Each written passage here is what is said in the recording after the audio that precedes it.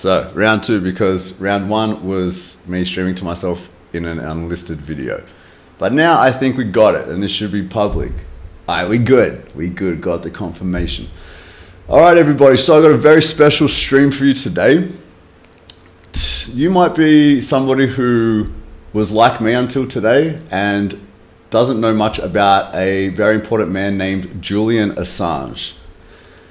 I watched a documentary about him today. It was created by a long term vegan and guy I've known a long time named Kim, Kim Staton. And this documentary is absolutely mind blowing. It is powerful and shocking and saddening, deeply saddening, disturbing. It is um, a really powerful documentary that I think everybody needs to see because I think people need to understand what kind of world that we really live in and how things really work here. Quit Eating Animals says, What's up? And the real thing's back again. What's up? So, guys, we are going to be watching a three and a half minute trailer for the documentary, which is called The Trust Fall. And then we'll be joined by the director of the documentary, Kim. So it's going to be crazy. So guys, before I start, make sure can I can you hear me? Yesterday I was talking to myself for about a minute.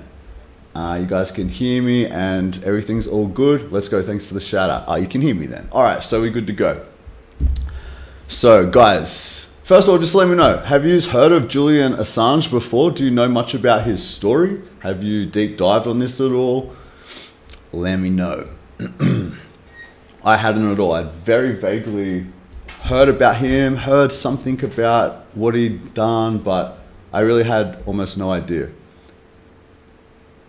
And um, I'm very glad that I found out more today. I'm very glad to know about what has happened here and what's going on. And there was actually a big update today, so that's interesting. Um, yeah, interesting timing actually, and I'm sure that Kim will be able to give us more, shed some more light on all that as well. So the real thing said, yeah, I've been following him for years. Wow, that's amazing. Like, I'm shocked I didn't know more about this guy. I, I can't believe it. I guess I just was focused on other things, you know. Um, JB Cole, what's up from France? How you doing, mate? And I said prophets. Yeah, sort of. But we are about to learn. You are about to learn, and I guarantee you are going to be shocked, and it's going to be heavy. It's going to be heavy, but you're going to be really glad you learned about this guy. He's a fucking legend. All right, so we about to learn together right now. Yeah, it's beautiful. All right. So we're going to just watch the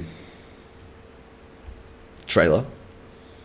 And then after that, we'll get the director of the documentary on. All right, we ready to roll?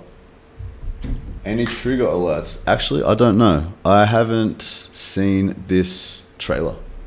I would say the trigger alert is if you're triggered by corruption, you should probably look away. Yo, Redlocks, yeah, I'm back to back streaming.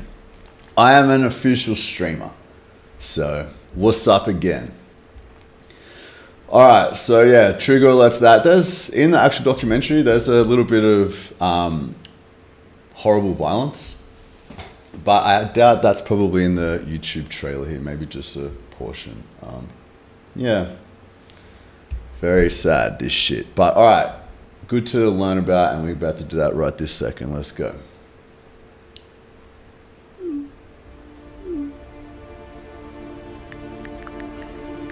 This is generally the view of people. Oh, we don't know much about Assange. But you should know, because whether you know it or not, he is fighting for you. for your courage and leadership and tenacity in journalism and publishing. Since 2010, Assange has been held in progressively narrower, darker, colder, and crueler spaces. He has been detained since the 7th of December 2010 in one form or another. And we are now here after years of imprisonment.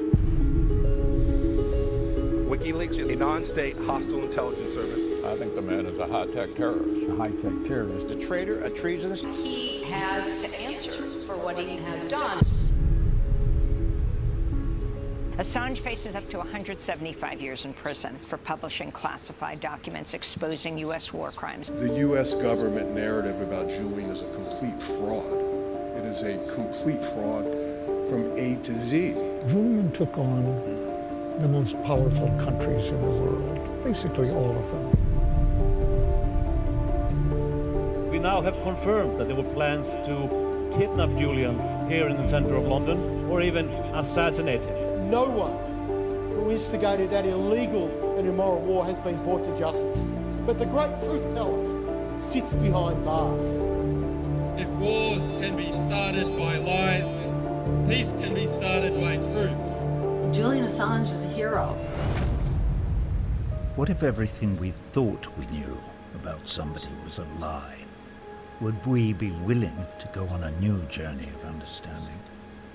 This is a story of deception, lies, bravery, and a man who risked everything to bring the truth to light. Mr. Assange shows all the symptoms that are typical for a person that has been exposed to psychological torture over a prolonged period of time. He looked at me intensely and said, I hate to say this. He then hesitated, visibly troubled and searching for words. And then he finally said, Please, save my life. May future generations have the ability to speak without restraint. May our children and their children know truth and have access to information that leads to justice. Wherever Julian goes, free speech goes with him. If there is a bird that is about to take flight, stretch her wings and rule the skies. May it be a peace dove and no longer a bald eagle. If you think Assange is a traitor, he's a rapist, he's a narcissist, he's a hacker, I don't blame you because you have been deceived. And if you think you've not been deceived, that's normal because otherwise it wouldn't be deception.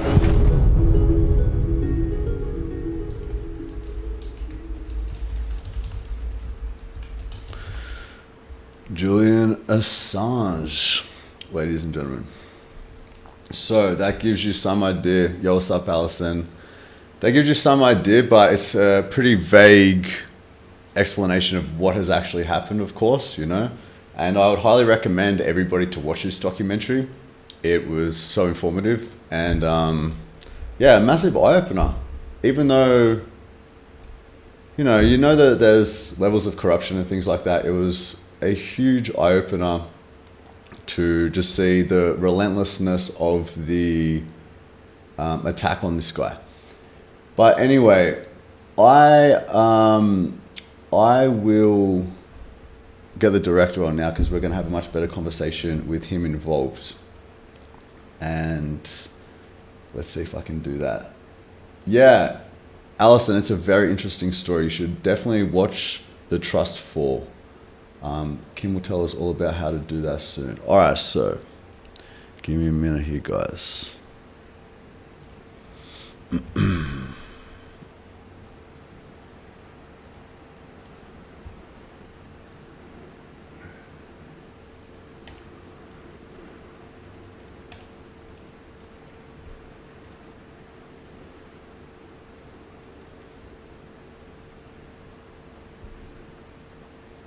Yo, Kim, what's up? Hey, James, how are you? I'm good, brother. Let's just make sure everybody can hear you. Um, can you talk again, mate? Yep. Yep. How's that? Every everybody can hear Kim fine. Live technology. Let's find out. Yeah, all good. Sweet. Dude, um, great to see you, my man. It's been ages, and um, the last time that I was around and seeing what you were up to, you were heavily into promoting documentaries. You had a whole thing in Sydney. You were running the Sydney Vegan Club. How long have you been vegan for, first of all? 12 years. 12 years, right. And um, you were running the Sydney Vegan Club just around the time that I went vegan, about 10 years ago. And you started doing these documentary nights. I think it was twice a week, twice a week, right? Yeah, at the beginning. Well, Once once a week at the beginning. Once a, once a week, and you were doing documentaries at least once a week called um, Films for Change.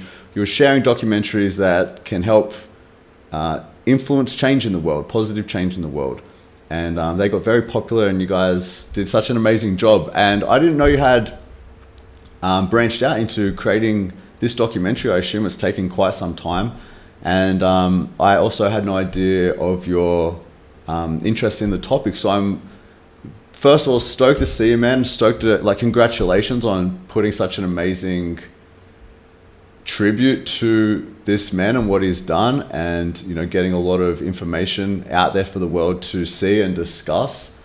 Amazing job, dude. Amazing documentary. Like it was, it was so well done. You know, it was just line after line. It just followed so well and was engaging the whole time, shocking and yeah, man, it was a job very well done. So congrats to you.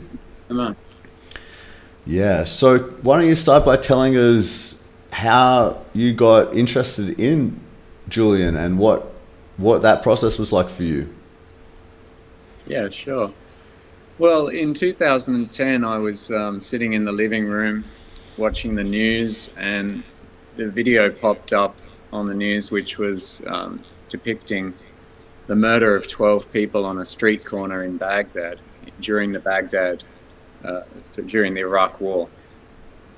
And uh, it was just a very short video, but it was shocking and it, and it stuck in my mind. And uh, it was years later before um, I understood what that was about. And uh, it's now known as the collateral murder video.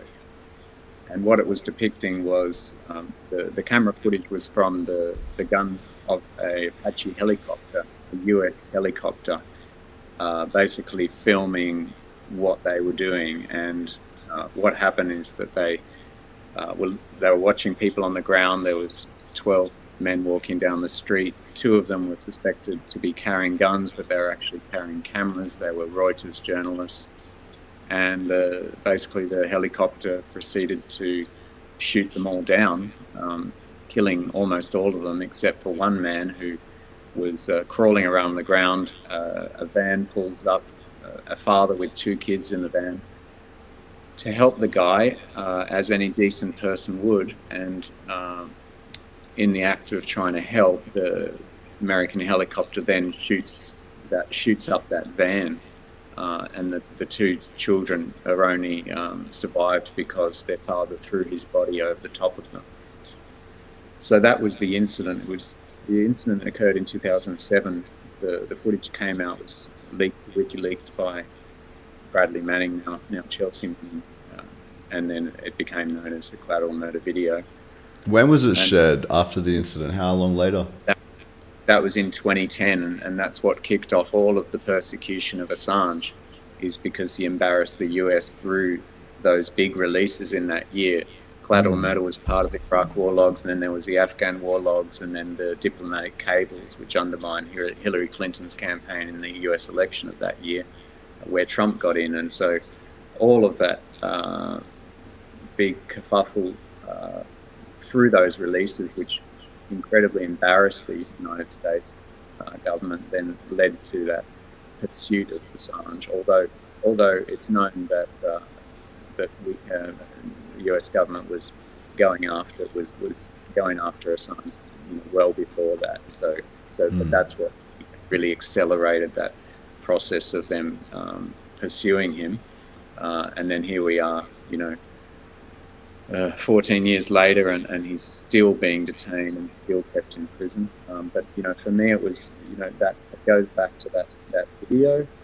And then about eight years ago, I started exploring the issue. And as I say, I was involved with sharing documentaries, and so I was consuming a lot of documentaries on all different topics, from uh, animal rights, veganism, through indigenous issues and the environment, and then uh, getting into politics. And uh, you know, I've never actually been someone that's so much into politics. I, I tend to say to people that I'm not really, I don't follow politics because I, it sickens me. You know, they're, they're all a bunch of liars and I don't like listening to them talk. And, you know, so this was a challenge for me to, to get into something that's highly political and very complex.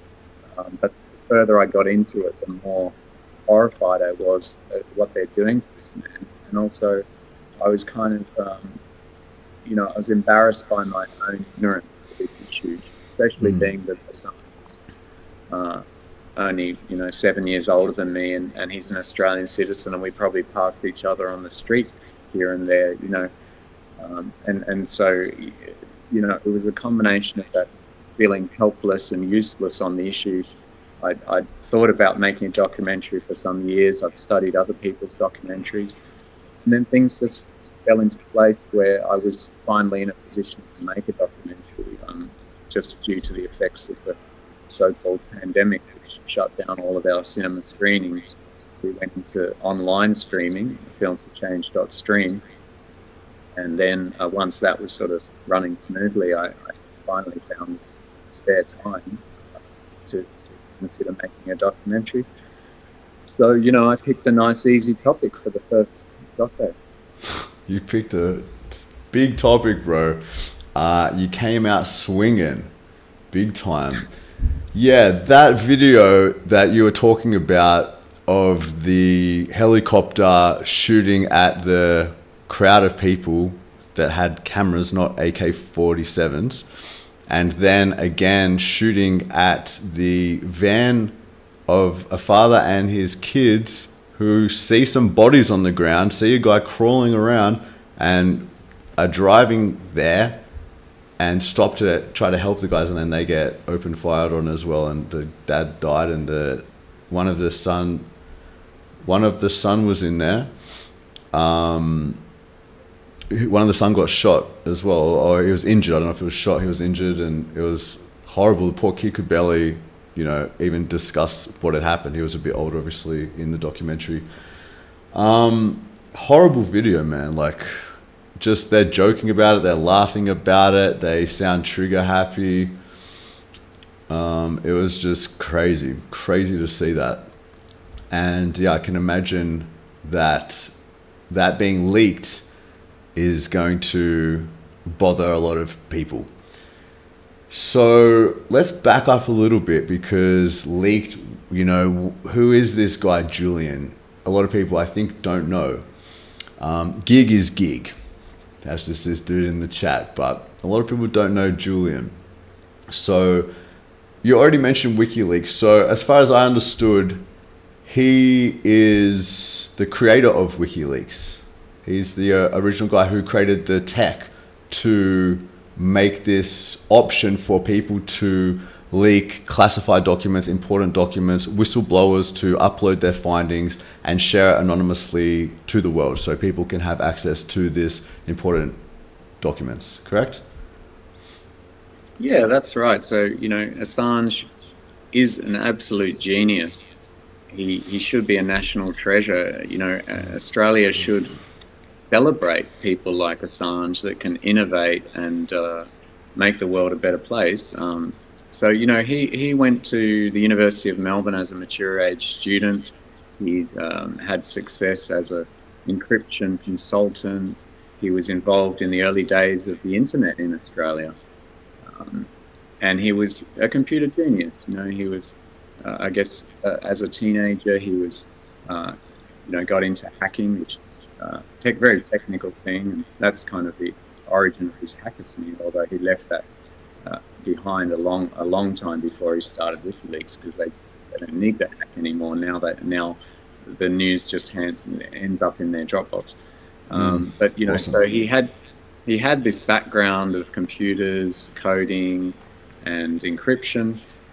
Uh, but I think his his lifelong mission has been to end corruption in the world, and that's you know I, I was told this by a, a, woman that I was in touch with on on Facebook one day that met Julian when he was eight years old, and um, because she was working working with his mother Christina they were working together, and Julian and her son were playing together. And, and she asked Julian one day, what, what do you want to be when you grow up? And he said, I'm going to end corruption in the world.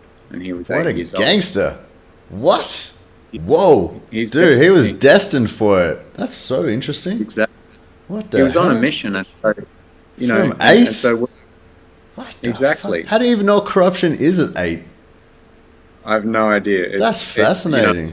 not into all the woo-woo spiritual stuff, but it, it seems like he was sort of incarnated to to, to do this mission, or, or maybe something that he witnessed at a young age um, that that put him on onto this mission. But he was certainly on a mission, and you know, and so I also know he was inspired by Daniel Ellsberg, who is the legendary uh, Pentagon Papers Vietnam War whistleblower. And what he what he was aiming to do was to stop that from happening again, so that if a whistleblower had important information of the crimes of the powerful, it could be put out to the public, out to the press, without that whistleblower being found out to protect their anonymity. Uh, and then thereby you're actually speeding up information. You're actually increasing the amount of information you can access, and people could do it without getting in trouble, without being detected. Uh, that was his mission. So he created this encryption.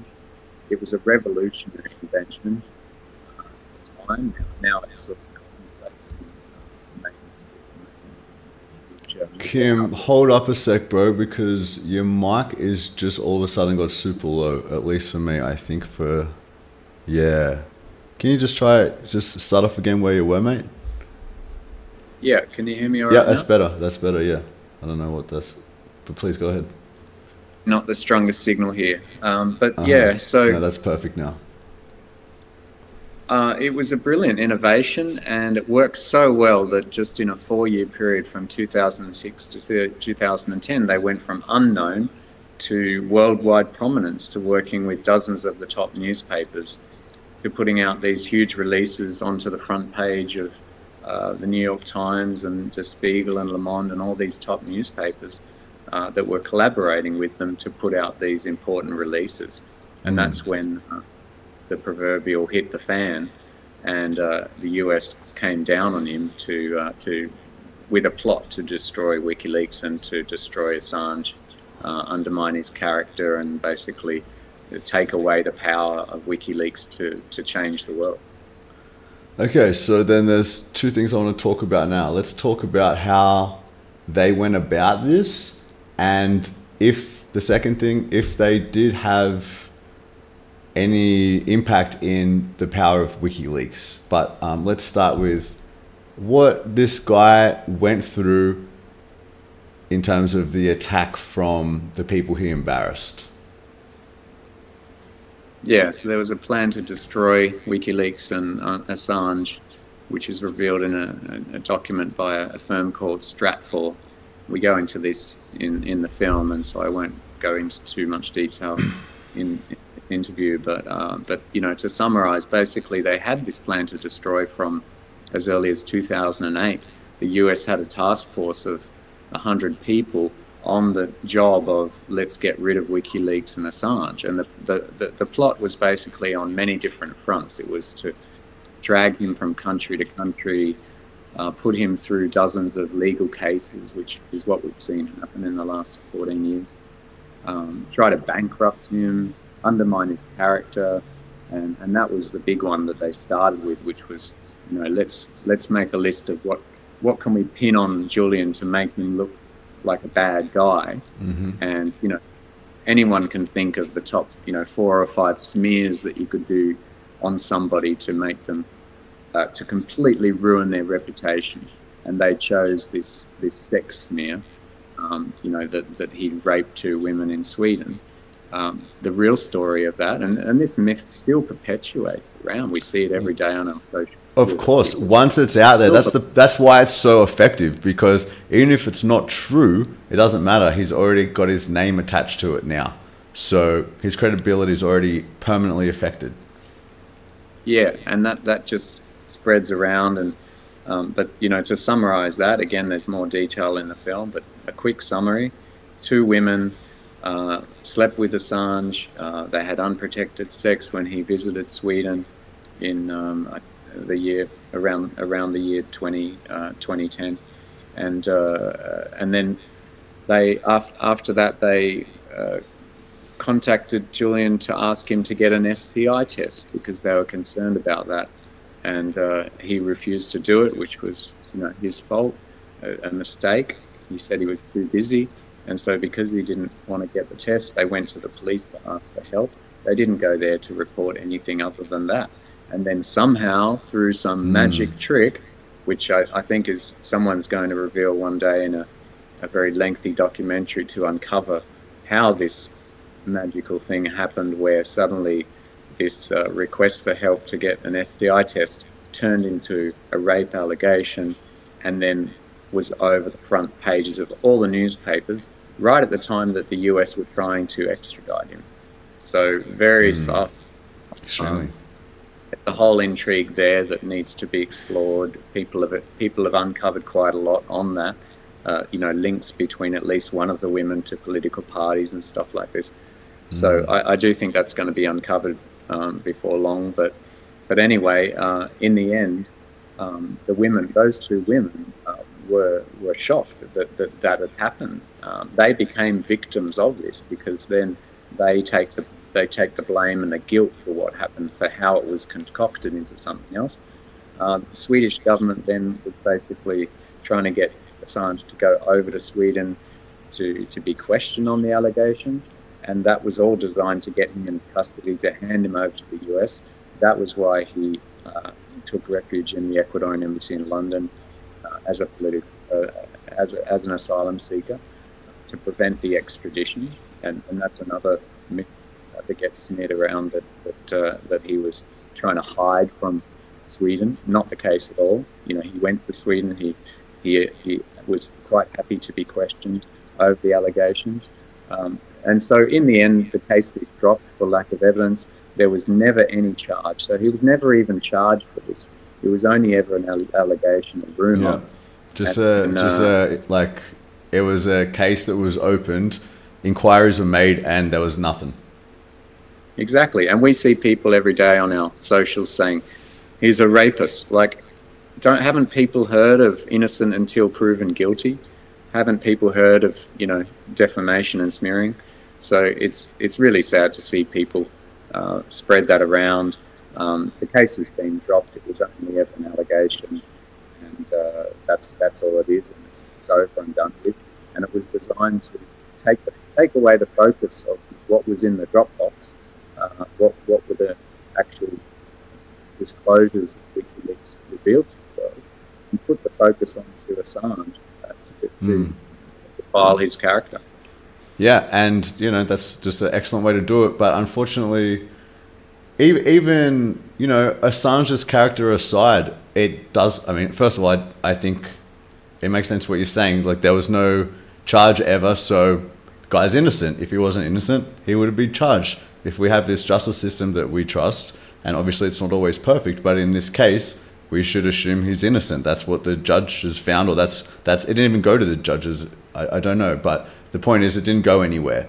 So there's no point in thinking just because the allegation was made in a very weird, suspicious way, um, and people jumping to all these conclusions and and uh, crucifying the guy for something he w- was accused of and not proven to have done.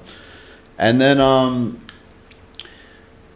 it doesn't change the fact, though, that what is being released on WikiLeaks has been released, and all of these documents showing this war crimes and things like this. That's irrelevant of who Julian Assange is. But obviously, they were trying to make an example of the guy, and you cover that a lot in your documentary. That this is what happens. You know, unfortunately, they're sending a message with this guy that this is what happens if you expose us. You know, if you expose the crimes that they commit and things like that. And it is extremely concerning to see this guy rotting in jail, losing his mind in solitary confinement. A guy who, as you said, should be praised as a hero. And, you know, I don't know if there's another side to this story. I've seen your documentary, that's all I know of the guy. But, um, you know, from, from my limited understanding, it's a it's a case that a lot of people agree with everything you said in the documentary. There's tons of um, other speakers and people talking about it. That's what the whole documentary is: interviews with people who are educated on this topic. Yeah, well, there, uh, there is another there is another side to the story, and it's a side that is a narrative run by psychopaths. Yeah, I, I As you say, really got to the core of it. There is that um, people need to look at what what is in these dis- disclosures. Even if you just look at a few of them, even if you just Google top ten WikiLeaks releases, and what you find is uh, this is serious stuff. Like it's war crimes, which I already uh, described, but um, they also released uh, re- revealed the uh, the torture of the um, captives, uh, prisoners in Guantanamo Bay. That's how we found out that Guantanamo was such a nasty place. That they were having, you know, people as young as 14 years old and as old as like uh, 92 or something being tortured, even though the US said we don't torture people. Um, so, you know, what WikiLeaks uh, revealed is so extensive the corruption, you know, crimes against the environment, war crimes, crimes of corruption, uh, uh, Hillary Clinton re- re- uh, receiving millions in, uh, of funding from Saudi Arabia. Um, the Pizzagate scandal actually came out of the diplomatic cables. That whole anyone that's been down that um, shocking rabbit hole. Um, if you haven't, you know, you needed a lot of hours to, to unravel that one.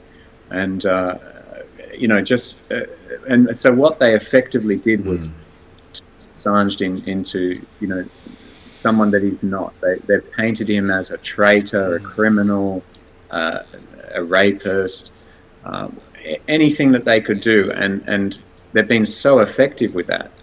But if people just take five minutes and watch an interview with Assange, or even better, two hours watch this film, but five minutes of an interview and you see someone completely different. You see someone who's very intelligent, gentle, intellectual, and compassionate, and that's what he's that what he that's what he is, and that's what he's always been. He's been someone that's trying to end corruption in the world, just like he said when he was eight years old. Um, so, you know, I've had some criticism from the Guardian and Financial Times Really? reviewing the film, saying that it's a, a partisan film, it's biased. Um, but this was uh, what I saw as appropriate. You know, there's a terrific quote, which is, uh, you know, along the lines of, if we stand on the side of, you know, if we stand on the fence, if we're neutral in, in the face of oppression, we're siding with the oppressors. And so as soon as I started researching this eight years ago, I realized that there was uh, an incredible um, falsification in the way that Assange has been portrayed. And when it came to making the film, I, I made the decision that I'm going to give 52 seconds to his oppressors and two hours and seven minutes to his supporters. And I thought that was entirely appropriate considering the. Uh, the They're lucky they got that. yeah, you know, and, and that and that was appropriate because this is clearly a case of the transgression of somebody's human rights. It's torture, and uh, and and it's someone that has committed no crime. He's just revealed the crimes It's of just others. He's revenge. guilty. Yeah. Exactly.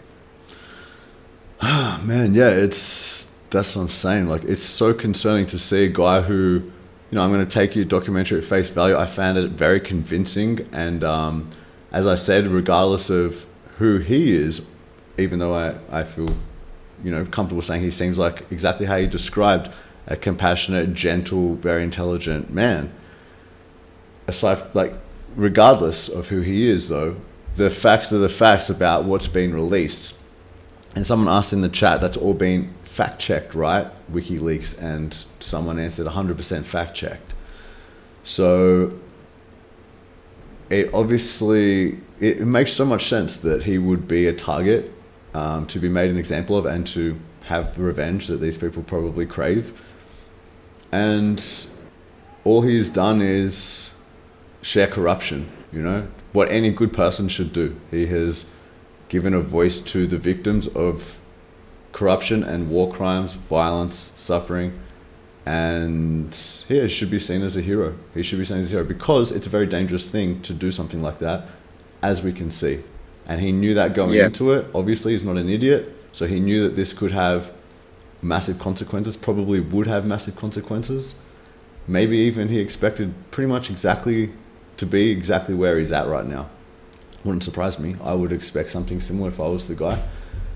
And um, he chose to do it anyway. So that is not a person that we should be remembering in any negative light. He should be an inspiration to us. And yeah, well, this is what the US has, has played upon is that we have this sort of bias where we, we judge someone on even their appearance, even their grey hair, or uh, that they're a, a tall, skinny, nerdy sort of character. And that can distract us from the what is the work that someone has done.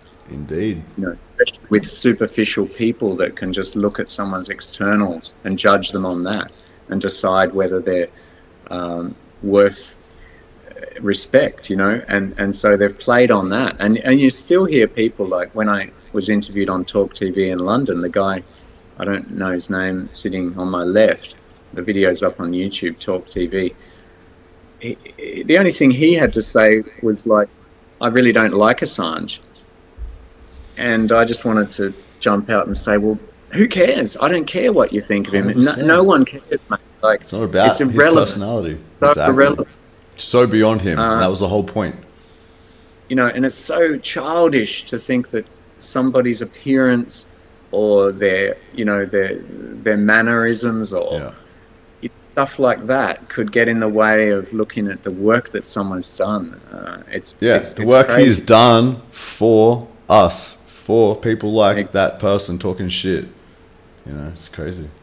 Nah, it's really sad, man. I, I was very moved multiple times, like, you know, to the point of, uh, yeah, feeling very, very sad for the guy. You know, he's clearly been through hell. You know, they've intended him to go through hell and they've succeeded.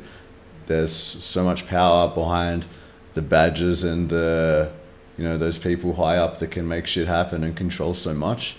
And that's why he's in a filthy looking place right now. You know, a very depressing and uncomfortable existence. Uh, and he deserves to be living like a king, basically.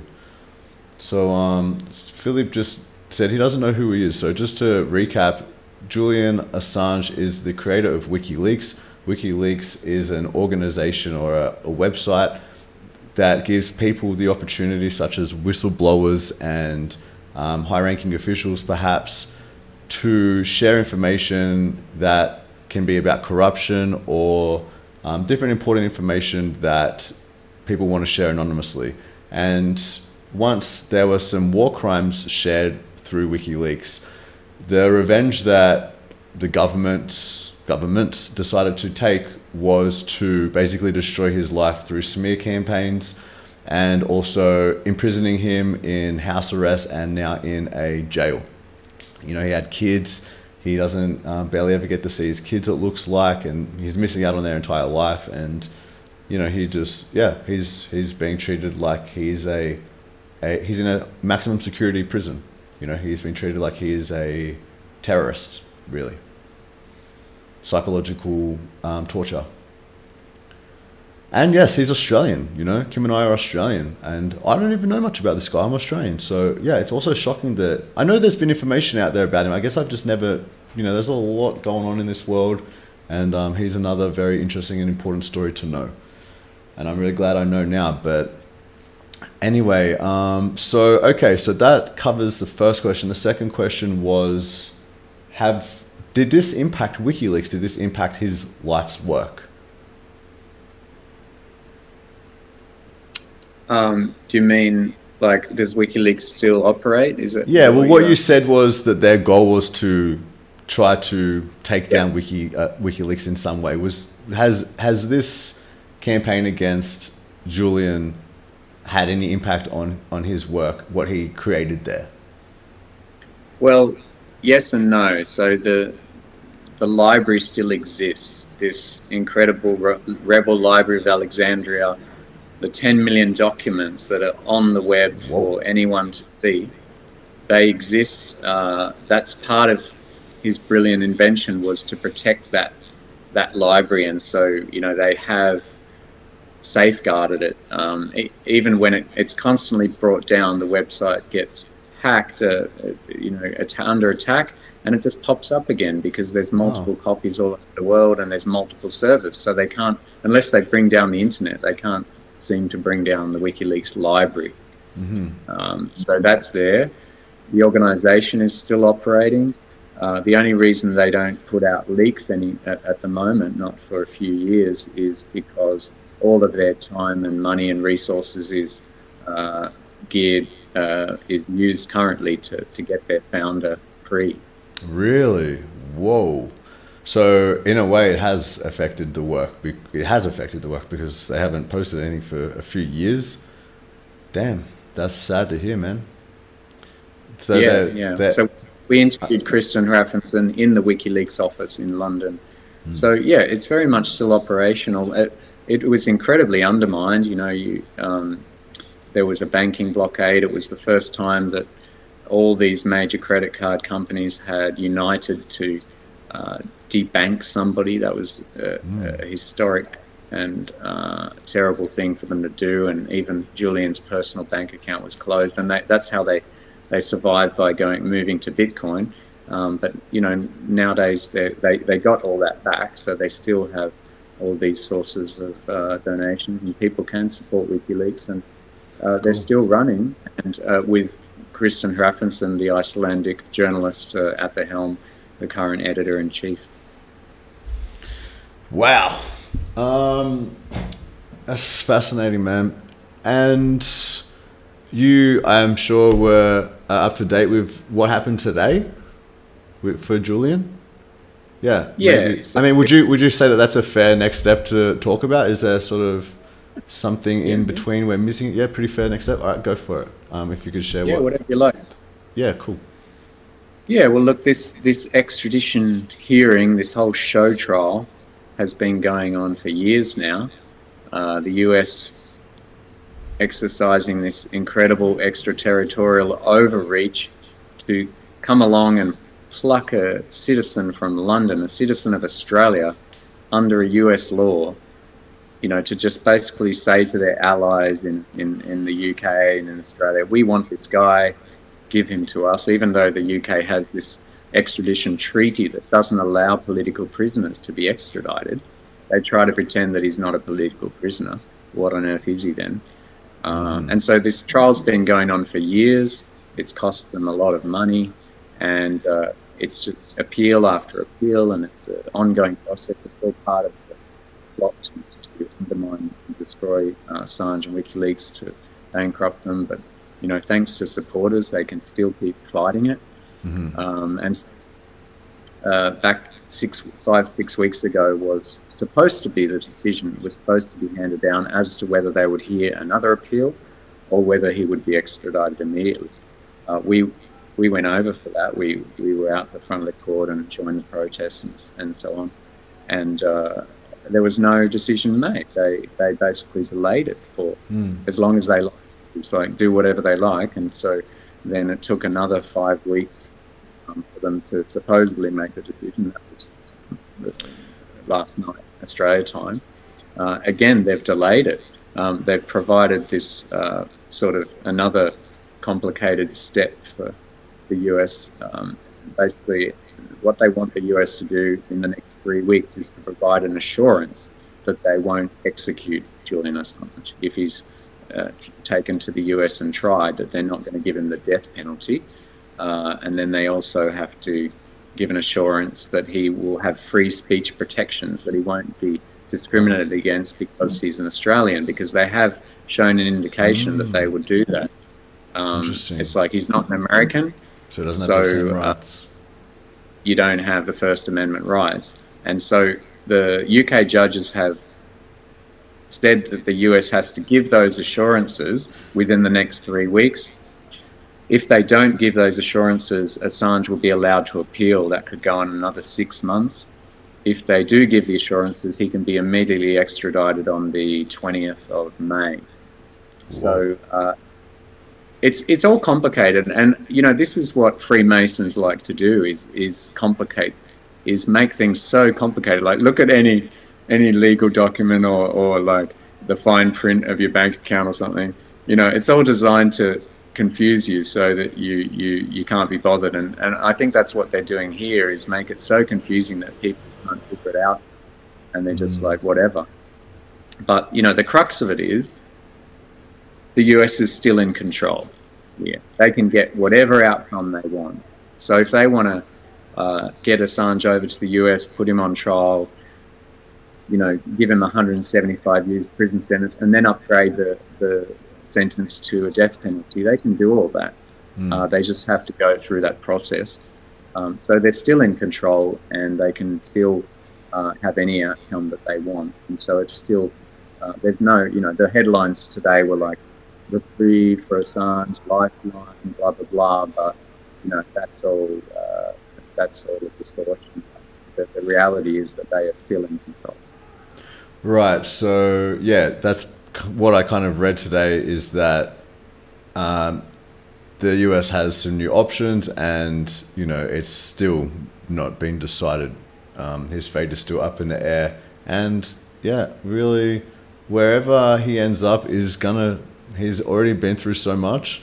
You know, he's already damaged, and maybe he'll never recover from a lot of this. Um, you know, there was like I, I saw in a documentary uh, talks about assassination, poisoning his food, you know, things like that. After a while, I mean, I just put myself in that position. I'm going to be paranoid about eating my food. I'm going to be paranoid about going outside. Uh, I'm going to be paranoid about police brutality if, you know, you've gone against a system like this. And there's some people who don't understand what he's done. A lot of people, because of all the deliberate uh, mis misinformation out there. Um, so okay, I think I think everybody's probably got a pretty good idea of the situation, um, but everybody should watch the Trust Fall to get a full picture of it, to see the footage that we've spoke about, to see the people talking about Julian, and to really understand who this guy is, and what he's done, and what's going on, and how unjust it is. And you know, it's the last way we should treat these people. And unfortunately, people in power, a lot of people in power right now seem very sick, very sick in the head. Um, people are asking where to see it. Yeah, um, you can go to our website, thetrustfall.org, for your local screenings. The film has gone incredibly well. It's surpassed everyone's expectations. We would have been happy if, happy if 20 cinemas in Australia showed it, but we've had over 200 so far. Whoa. It's still strong, uh, epic, including bro. Event. It is Event That's points huge. and Village. Um, very surprising that those big blockbuster Hmm. Hollywood orientated uh, chains would come on board, but we're so glad that they did.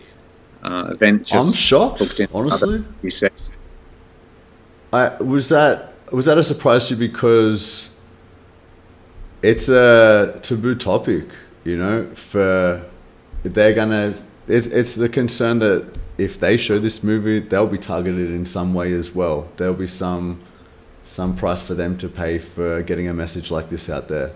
Yeah, like I can only guess that maybe on the board of selectors or, or even the board of shareholders of these cinemas that there are some supporters of Assange Must that have had enough with the politics in Australia.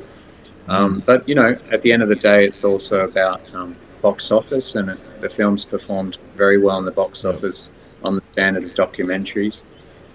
And Awesome. uh, you know, and so we're we're really pleased with it. It's also going really well in New Zealand, and we've just released in the UK two weeks ago. It's going very well in the UK. Um, the big markets are still to come: the, the US and the and the UK, uh, Europe. Um, we're going to take the film all around the world. It'll eventually go digital once the uh, cinema finishes, and um, we're going to keep showing it until it's free. That's our that's our commitment. Keep raising awareness until the public pressure gets big enough that the governments uh, take it seriously and do the right thing. Totally, man. We definitely raised mine and my wife's awareness today from one to 150. So well done. um, what about yourself, man? Were you concerned to create a documentary like this? I imagine it would have been kind of daunting because it's, um, you've seen already what happens to somebody who tries to get the truth out there um, with a message that makes government and things like that look bad. So, how about yourself? Did you have any concerns, and also did you have any experiences where something like that happened? Yeah, I definitely had concerns, as you say. This kind of fear mongering, this scapegoating of Assange, it rubs off on any kind of journalism, and documentary making is a form of journalism. Um, I just, like Assange, I just made the decision to take the risk, do it anyway. And obviously, what I've done is just pales in comparison to uh, the risk that Julian took, and you know, like a thousand to one. And so, uh, I, I, don't think it's anywhere near that risk, and therefore, hopefully, I'll be fine. But uh, you know, it, of course, the film contains actual classified information as well as documents and, that come up on the screen. And you know, whenever there was that option to put them up or not, I just went, well, Julian did it, and mm. you know, we only live once, and I don't want to live a life where I'm a coward, where I just sit back and, and don't say what I think and don't uh, stand up for anything.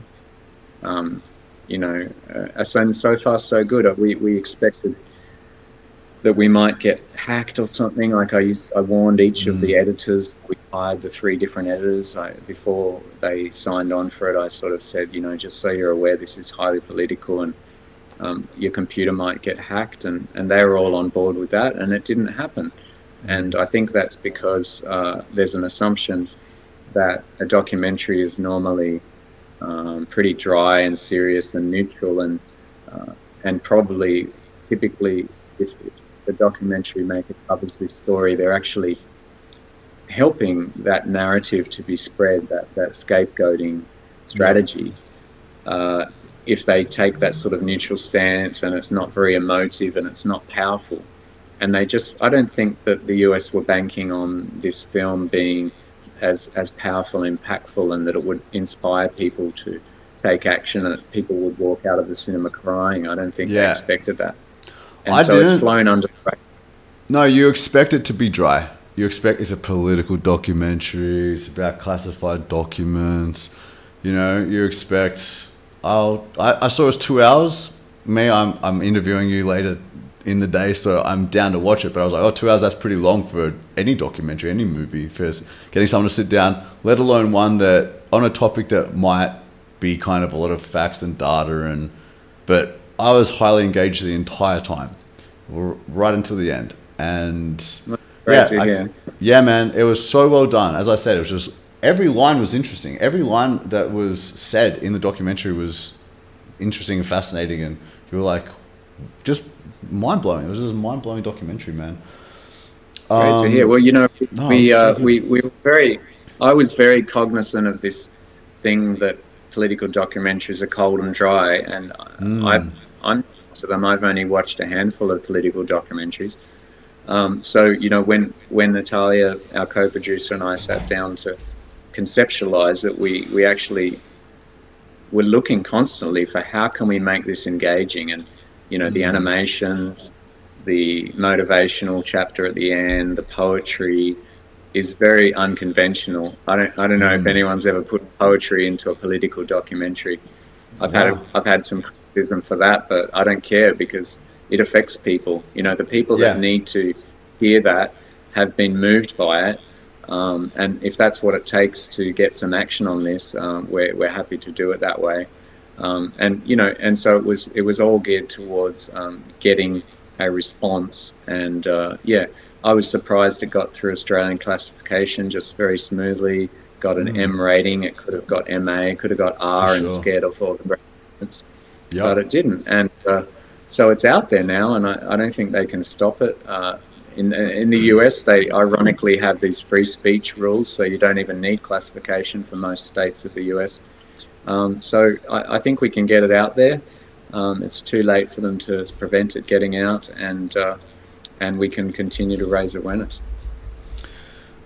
Hell yeah, man. Well, I'm sure it'll just spread itself, you know. Um, I mean, obviously, you guys have a big job to do, but it's going to be one of those documentaries for sure where uh, especially in the US where it's such a big population and I think it's gonna really reach the hearts and minds of a lot of people who maybe maybe there's a lot of people who are on the fence about the guy. Like again, I don't know much what's about the sort of public perception of him, um, but I think yeah, it's just such a convincing documentary. You told the story so well, and I think he'd be.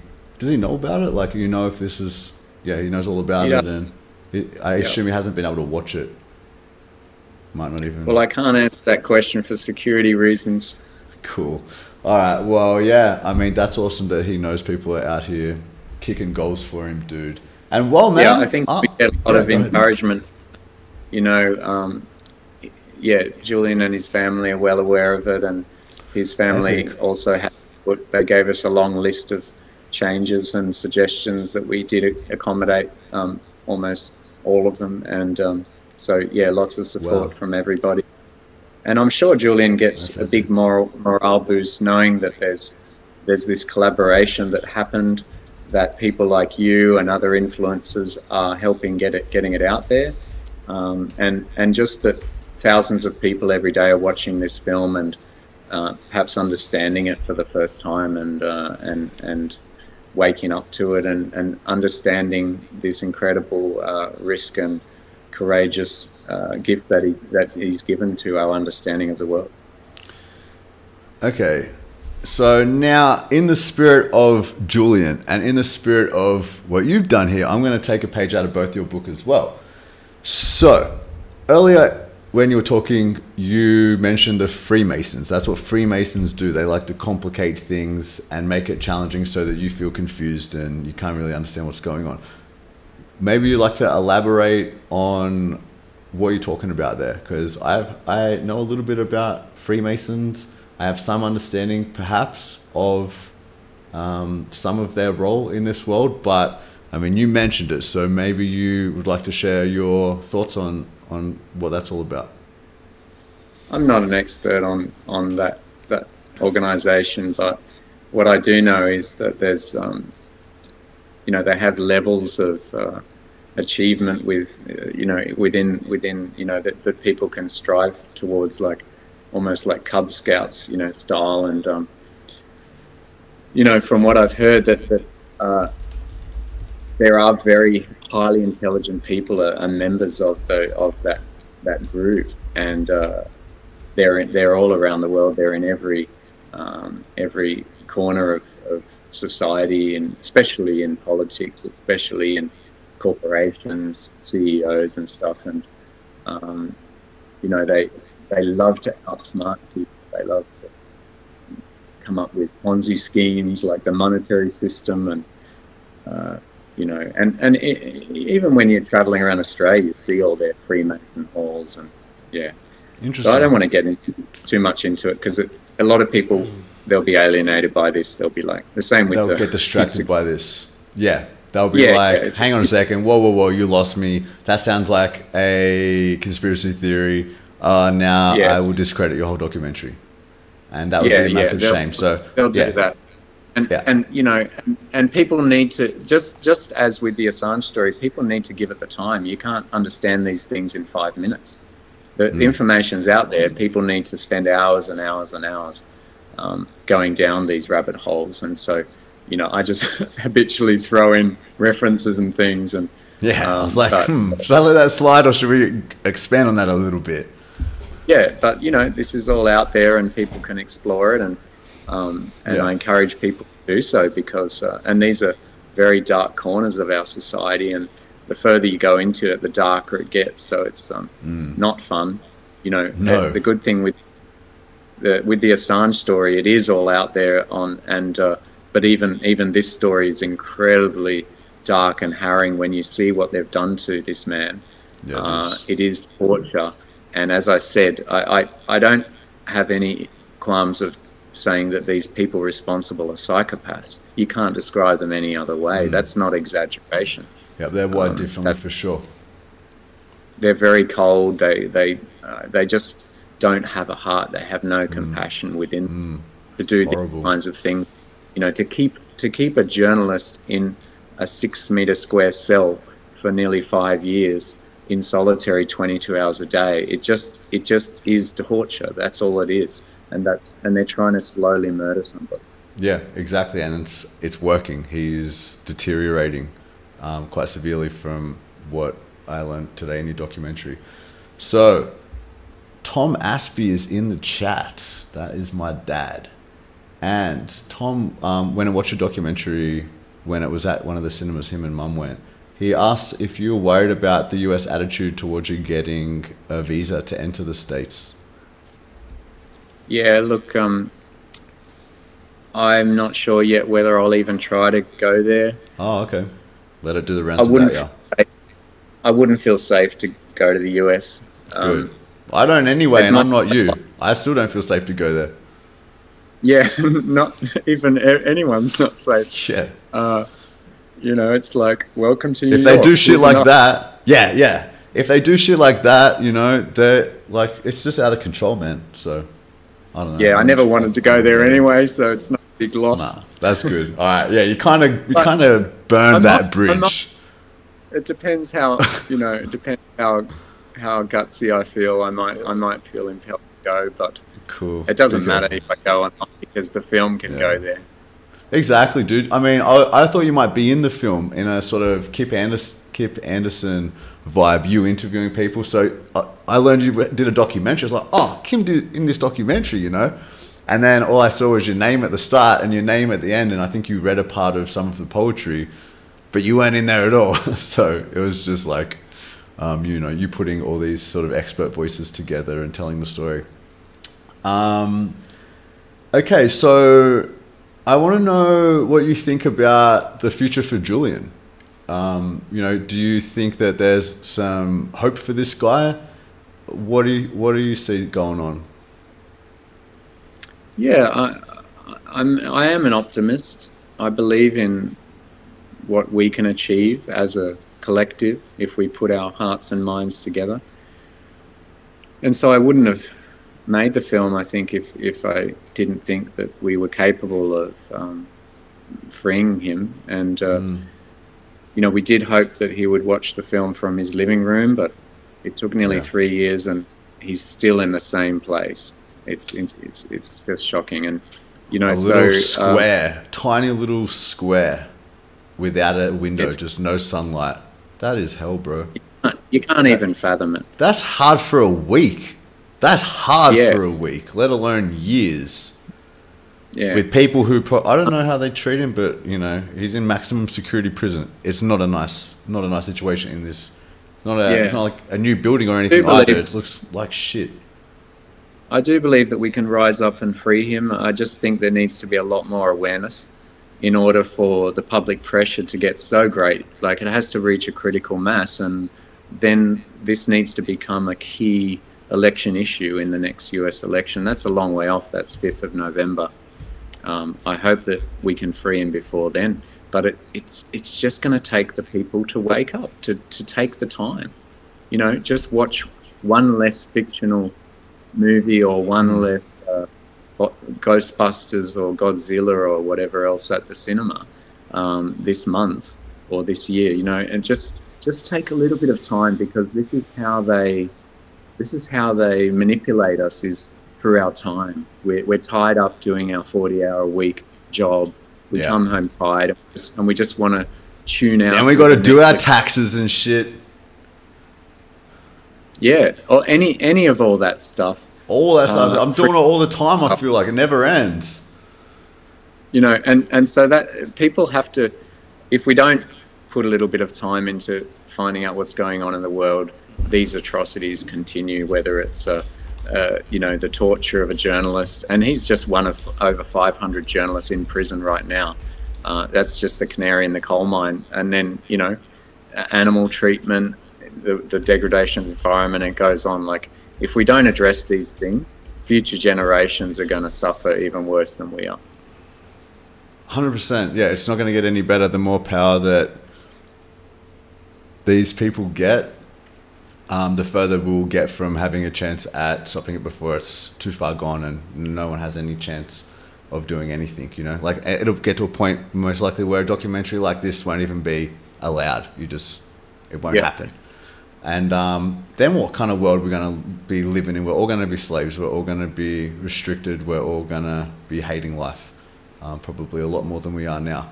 Yeah, people got to get educated, man. They got to wake up and realize that this, they need to, they are part of making this world a better place, and we all need to come together and work on that because it's filthy. You know, it's so filthy, and there's so much corruption at the highest level. And how else? How else to do it? You know, it's like we have to do something. You create a documentary. Um, that guy did all that. You know, Julian did what he did, did so much, and but yeah, then it comes down. Someone actually asked here, how can they help you?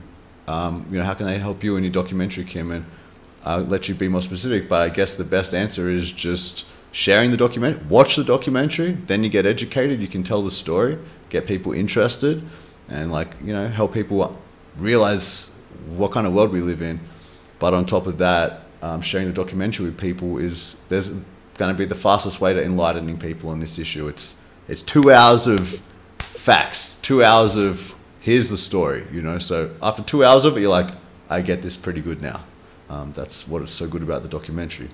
So um, Karen here said over 500 journalists in jail. Wow, that's crazy.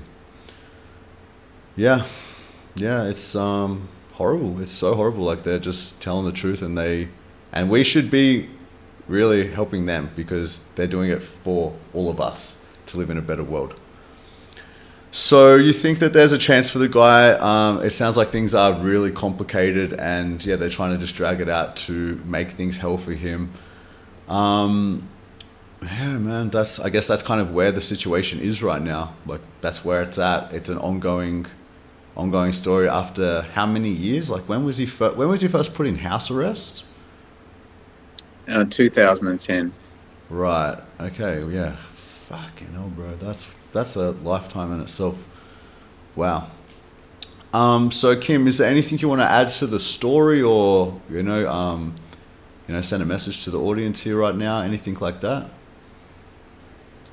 Yeah, just want to encourage people to see the film. You know, that's that's the best way to help. If you've seen it already, try to convince other people to see it.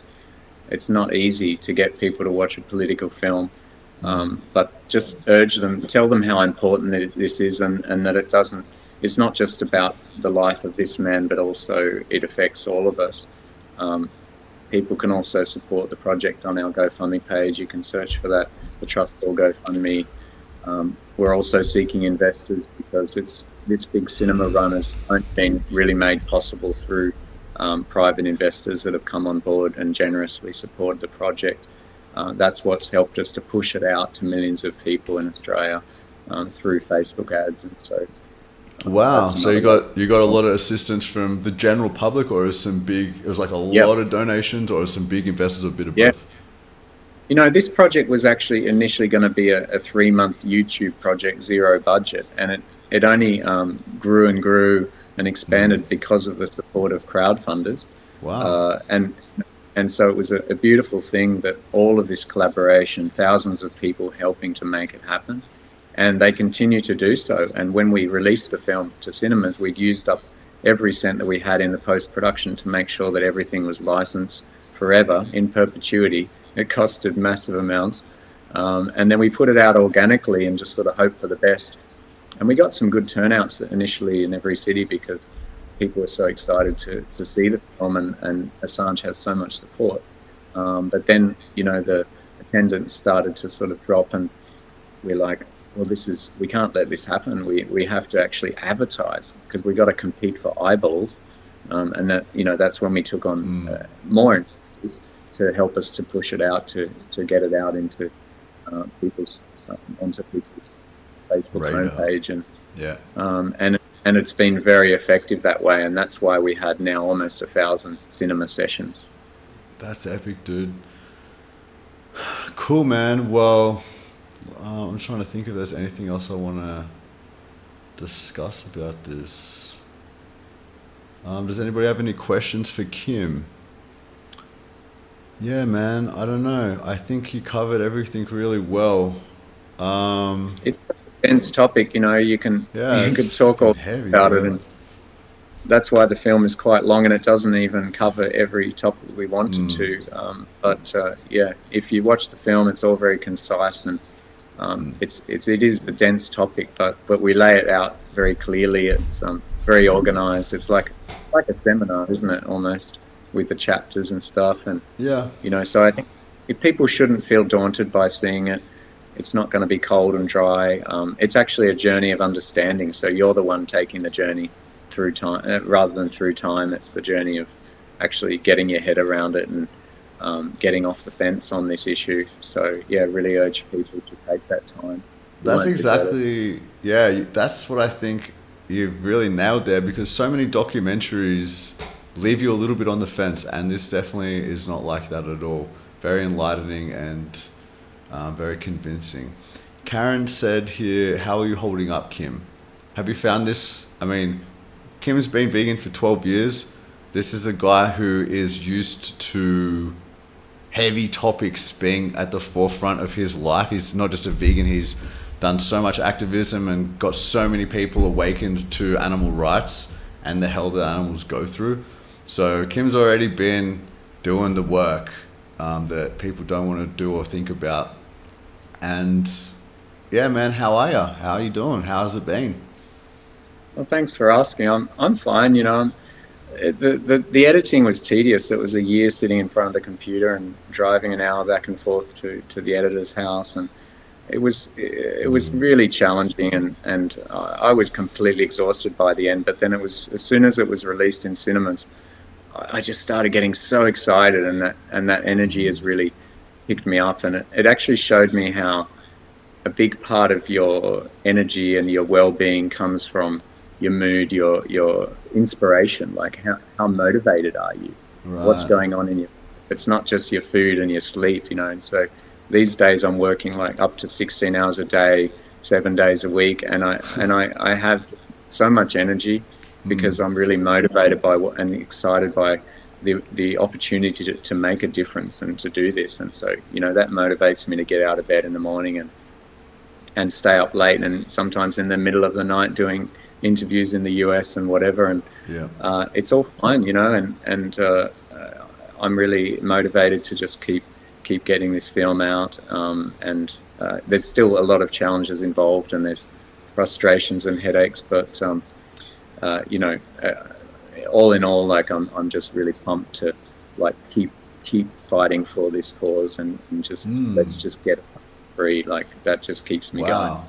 Wow, because you were very dedicated to the animal rights mission before, and it seems like that's sort of taken a back seat to something new now. You're very focused on this.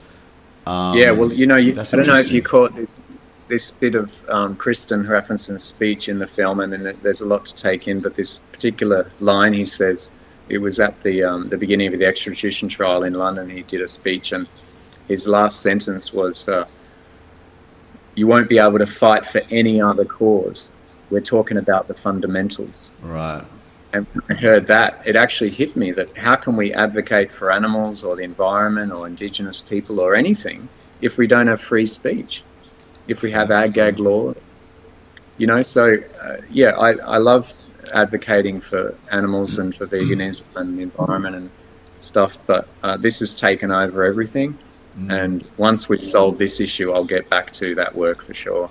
Um, I'll, I might even try to juggle a little bit of it um, in the next few months. Right. You know, it's a pity. Um, you know, Hard the um, Sydney Vegan Club became VEA, Vegan Education Association, and we still have our socials, and um, and hopefully we'll get back to our our you know screenings of Dominion, another excellent documentary very soon. Um, but yeah, for now, for now, I'm just sort of trying to advocate for free speech and the freedom of this uh, heroic journalist. Amazing. Um, I think it was interesting. You said you were. It was so tedious.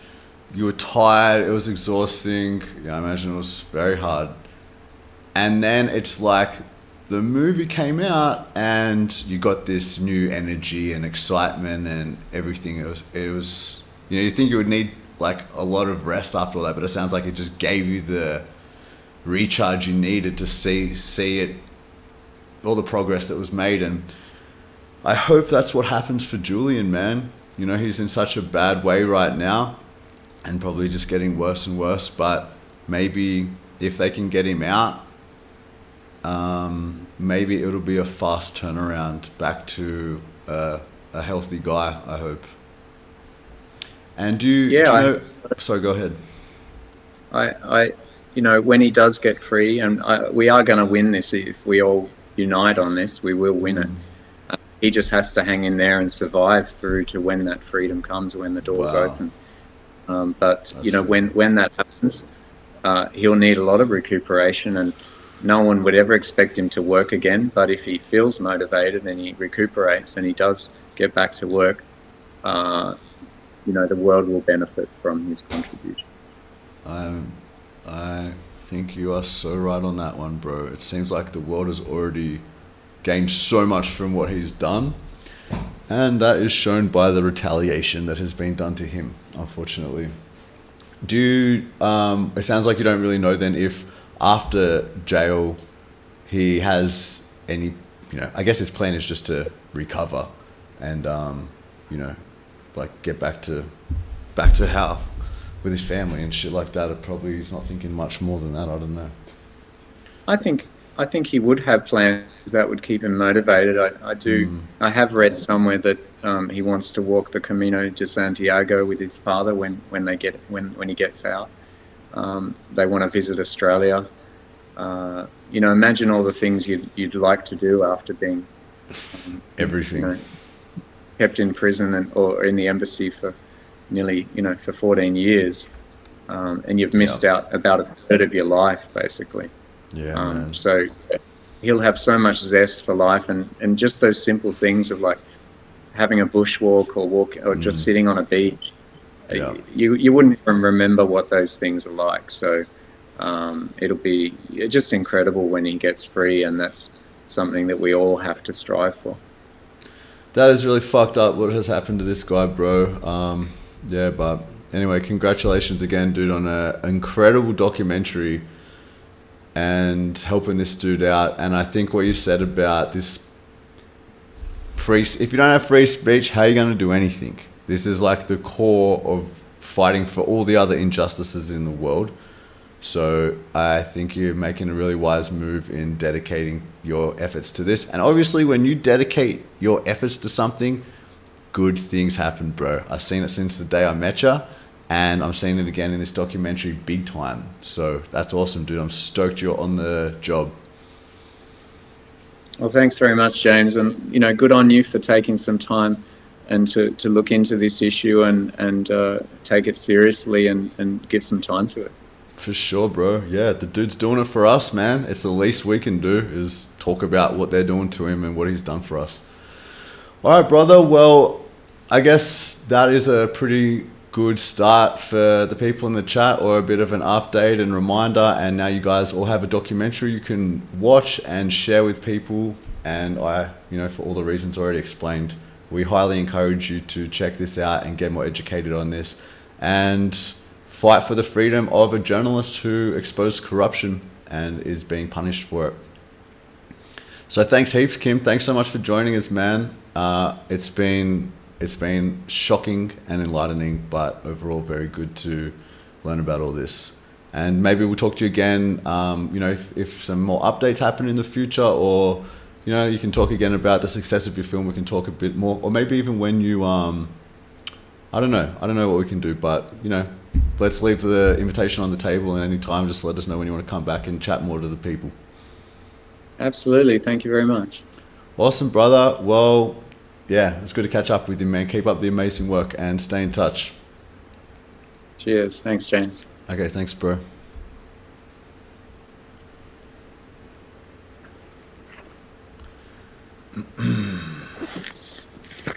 Kim Staton. Whoa. What a what a gangster. What a gangster. That dude's doing that must be scary to make a documentary like that. You know. He's exposing government corruption at the highest level, war crimes and shit. The dude who did it has been in prison for 14 years, and now Kim makes a whole documentary about this guy.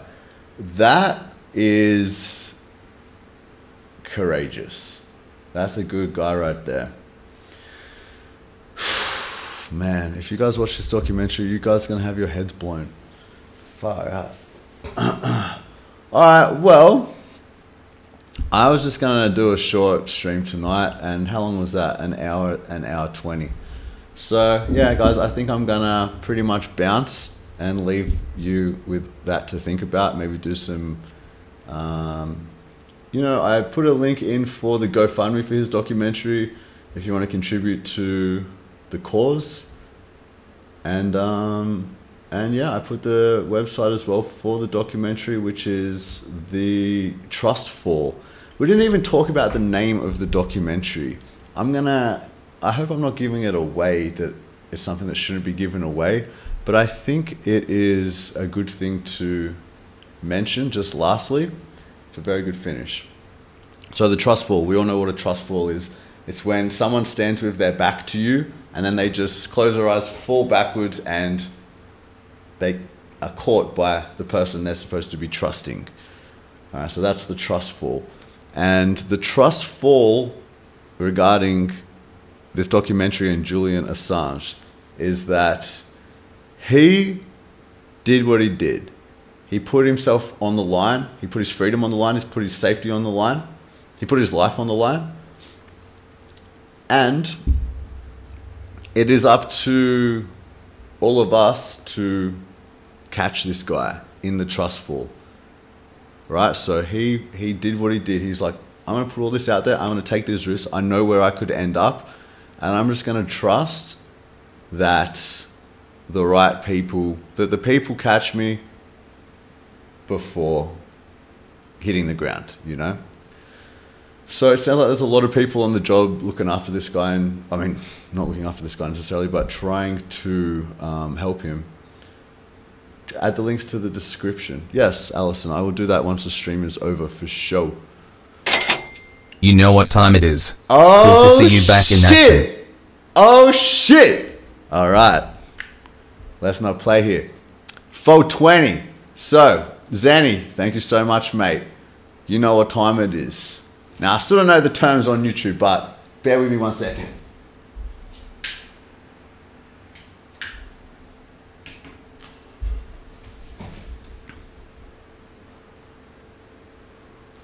Four twenty, dude, that's the best. I tell ya, this streaming life is good. Thanks, Zanny, for the 420 tip. You absolute legend. We all need a little bit of 420 after learning about the Julian Assange story. That is literally the first thing I did after I learned. I was like, okay, I need to blaze that shit. That was fucked up. all right, thanks for that. Feel a little bit better already. Um, anything else to talk about with this guy? Oh, yeah, no, I talked about the trust fall. I talked about the trust fall. All right, guys, so that's that's it for tonight. Um, thanks heaps again for the people who donated. Julie and Zenny, absolute champions. Keeping the lights and the camera on. Really appreciate it. And yeah, guys, I will catch you all very soon again. I'm a streamer now, so I'll probably see you tomorrow. Peace.